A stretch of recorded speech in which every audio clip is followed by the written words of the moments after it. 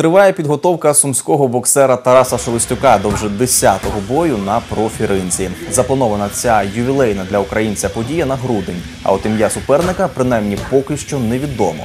Єдине про що можна стверджувати, так це про те, що найближчий бій Шелестюка складатиметься з восьми раундів.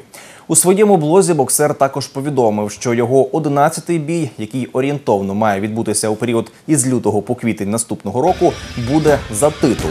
Тарас матиме шанс поборотися за звання інтерконтинентального чемпіона за версією WBO.